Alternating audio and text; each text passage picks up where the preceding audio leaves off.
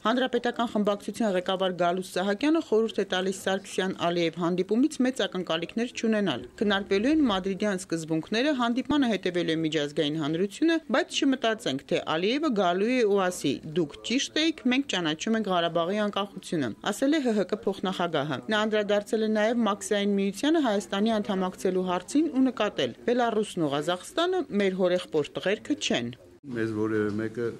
երբևիցե հրավերք չէր արել Մաքսային միություն գնալու եւ ոչ է Եվրոպան էր հրավիրել ինչ որտեղ։ Մեր ի տարբերություն ԱՊՀ երկրների